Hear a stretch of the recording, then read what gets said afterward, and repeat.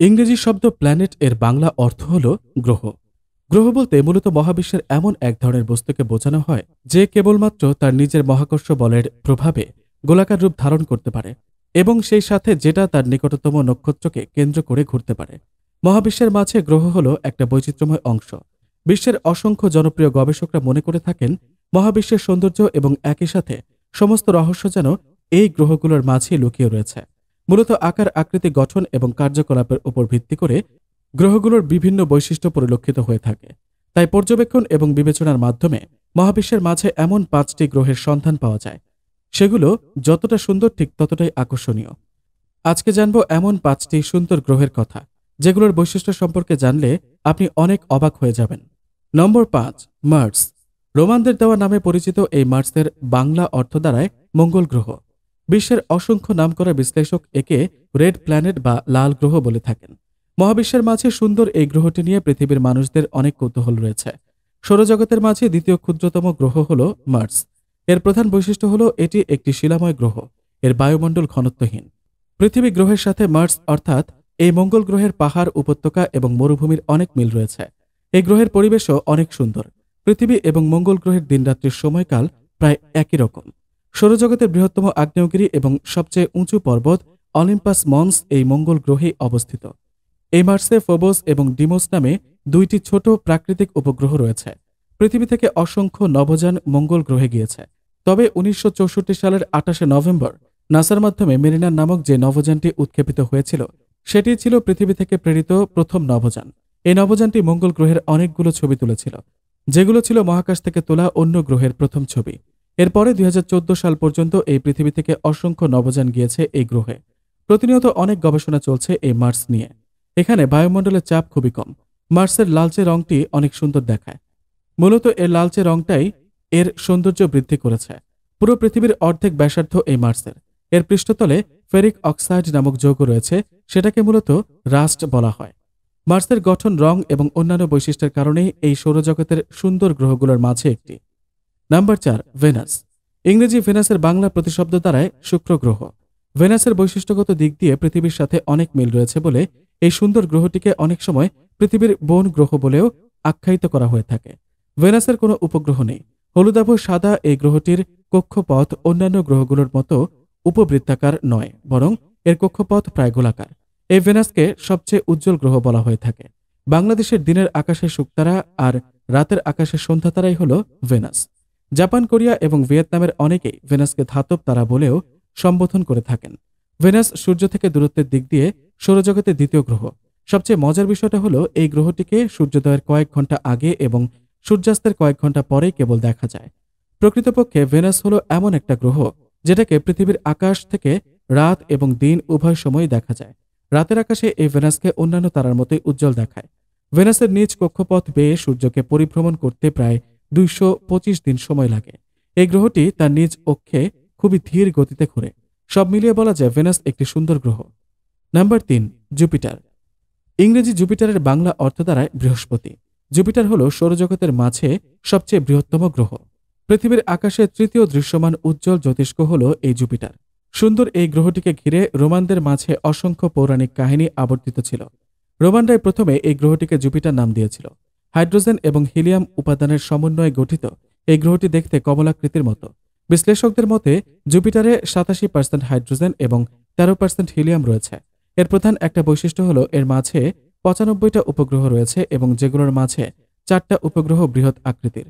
একে অনেকে গ্রহরাজও বলে থাকেন, কারণ জুপিটারের মাঝে যতগুলো উপগ্রহ রয়েছে, সেগুলো অন্য কোনো গ্রহের মাঝে নেই। মূলত জুপিটার গ্রহের পরিবেশটা অনেক গভীর। সুন্দর এই গ্রহটি সূর্যের চারপাশে যেতে পৃথিবীর চেয়ে অনেক বেশি সময় নিয়ে থাকে। জুপিটারের চালচলন এবং বৈশিষ্ট্য সৌরজগতের অন্যান্য গ্রহগুলোকেও বিশেষভাবে প্রভাবিত করে থাকে। অন্যান্য সুন্দর গ্রহগুলো থেকে জুপিটার আলাদা হওয়ার কারণ হল এর গ্রেট রেড স্পট। এর চারপাশটা এই গ্রেট রেড স্পটের কারণেই যেন আরও সুন্দর হয়ে উঠেছে। মূলত এখানে ইটেল লাল রঙের সাথে গোলাপি রঙের একটা সুন্দর সংমিশ্রণ রয়েছে। সব দিক দিয়ে স্বয়ংসম্পূর্ণ এবং দেখতে আকর্ষণীয় এই গ্রহটির তিন কিলোমিটারের মাঝে কয়েক টন অদ্ভুত রকমের পাথুরে বস্তুর খোঁজ পাওয়া গেছে। বিশ্লেষকদের মতে, এই খুঁজে পাওয়া পাথরগুলোর ব্যাপারে স্পষ্ট ধারণা পাওয়া যেতে পারে দুই সালে। কারণ দুই সালে জুসি এবং ক্লিপার নামে দুটি মহাকাশ অভিযান পরিচালনার কথা রয়েছে। তখনই হয়তো এই অজানা পাথরগুলোর রহস্যের দ্বার উন্মোচিত হবে। নাম্বার দুই, মার্কারি। ইংরেজি মার্কারির বাংলা প্রতিশব্দ হল বুধ। এই মার্কারি নামটার সাথেও রোমানরা জড়িয়ে রয়েছেন। মূলত রোমানরা তাদের বিভিন্ন পৌরাণিক কাহিনীর ওপর ভিত্তি করে এই মার্কারি নামটি রেখেছিলেন। গ্রিকরা এই গ্রহটিকে স্টিবলন নামে আখ্যায়িত করে। মূলত ভারতবর্ষের সংস্কৃত শব্দ থেকে মার্কারি শব্দটির বাংলা বুধ শব্দটি এসেছে। এই বুধ বা মার্কারি হল সৌরজগতের প্রথম এবং ক্ষুদ্রতম গ্রহ। সূর্যের সবচেয়ে কাছে অবস্থিত এই গ্রহটির কোনো উপগ্রহ নেই। মার্কারি পৃথিবী থেকে দৃশ্যমান না হওয়ার পেছনে প্রধান কারণ হল সূর্যের সাথে প্রায় আঠাশ দশমিক তিন ডিগ্রি বৃহত্তম কৌণিক পার্থক্য রয়েছে এই মার্কারির। তবে মাঝে মধ্যে সন্ধ্যার অল্প আলোতে একে দেখা যায়। মার্কারির ব্যাসার্ধ দুই দশমিক সাত কিলোমিটার। এই মার্কারি এতটাই ছোট যে, সৌরজগতের প্রাকৃতিক উপগ্রহ গ্যানিমিড এবং টাইটানো আকারের দিক দিয়ে এই মার্কারির চেয়ে বড়। মার্কারি ধাতব এবং সিলিকেট জাতীয় গাঠনিক জাতীয় উপাদানগুলোর সমন্বয়ে গঠিত হয়েছে। এর মাঝে সত্তর পার্সেন্ট ধাতব এবং ত্রিশ পার্সেন্ট সিলিকেট উপাদান রয়েছে। এর কেন্দ্র পৃথিবীর মতো এতটা সংকুচিত নয়। এই গ্রহে লোহার পরিমাণ অনেক বেশি। মার্কারি ক্ষুদ্র হওয়ার কারণে এর পক্ষে দীর্ঘমেয়াদের জন্য বায়ুমণ্ডল গঠন এবং সেটাকে ধরে রাখা কোনোভাবেই সম্ভব নয়। তাছাড়া এর অভিকর্ষ বল খুবই কম। ষোলোশো সালে বিজ্ঞানী গ্যাসেন্ডি প্রথমবারের মতো এই মার্কারিকে দেখতে পেয়েছিলেন। তিনি দূরবীনের মাধ্যমে পর্যবেক্ষণ করার সময় একটি বস্তুকে সূর্যের সামনে দিয়ে অতিক্রম করতে দেখেছিলেন, যেটা ছিল এই মার্কারি। এর সাথে ভেনাসের আলাদা একটা সম্পর্ক রয়েছে, কারণ পৃথিবী থেকে যখন ভেনাসকে অর্ধচন্দ্র আকৃতি দেখায়, তখন ঠিক এই মার্কারির উজ্জ্বলতা যেন অনেক বেড়ে যায়। এর পৃষ্ঠে প্রচুর পরিমাণে তরল জল রয়েছে। বলা যায়, মহাবিশ্বের সুন্দর গ্রহগুলোর মাঝে এই ছোট মার্কারি হল অন্যতম। নাম্বার এক, স্যাটার্ন। মহাবিশ্বের মাঝে সবচেয়ে সুন্দর এবং বৈচিত্র্যময় গ্রহটি হল এই স্যাটার্ন। এই গ্রহ নিয়ে পৃথিবীর মানুষদের মাঝে কৌতূহলের কোনো শেষ নেই। ইংরেজি স্যাটার্নের বাংলা প্রতিশব্দ হল শনি। এর বৈশিষ্ট্য আকার আকৃতির সবকিছুর উপর ভিত্তি করেই এটাকে সৌরজগতের সবচেয়ে সুন্দর এবং দ্বিতীয় বৃহত্তম গ্রহ হিসেবে বিবেচনা করা হয়ে থাকে। মহাবিশ্বে এই স্যাটার্নের মতো এত সুন্দর গ্রহ খুব কমই রয়েছে। স্যাটার্নে মোট তিরাশিটি প্রাকৃতিক উপগ্রহ রয়েছে। এগুলোর মাঝে টাইটান উপগ্রহটি হল সবচেয়ে বড়। টাইটানকে সৌরজগতের দ্বিতীয় বৃহত্তম প্রাকৃতিক উপগ্রহ বলা হয়। অনেক বিশ্লেষকরাই অনুমান করে থাকেন যে এই টাইটানে জীবনের অস্তিত্ব থাকতে পারে। তবে এই ব্যাপারে এখনও তারা গবেষণা এবং পর্যবেক্ষণ করেছেন। ইতালির পদার্থবিদ, গণিতবিদ এবং জ্যোতির্বিজ্ঞানী গ্যালিলিও গ্যালিলি ষোলোশো সালের জুলাই মাসে সর্বপ্রথম টেলিস্কোপের সাহায্যে স্যাটার্ন বা শনি গ্রহকে দেখতে পান এবং এর উপর পর্যবেক্ষণ করেন। স্যাটার্নে বায়ু প্রবাহের গতি ঘন্টায় প্রায় আঠারোশো কিলোমিটার। এর মাঝে যে বলয়গুলি দৃশ্যমান রয়েছে, সেগুলো মূলত বরফকণা দিয়ে গঠিত হলেও এগুলোতে অল্প পরিমাণে পাথুরে ভগ্নাবশেষ এবং ধূলিকণাও রয়েছে। পৃথিবীর তুলনায় শনি গ্রহ সূর্যের চেয়েও অনেক বেশি দূরে হওয়ার ফলে পৃথিবীর চেয়ে শনি গ্রহে সূর্যরশ্মির তেজ তুলনামূলকভাবে অনেক কম থাকে।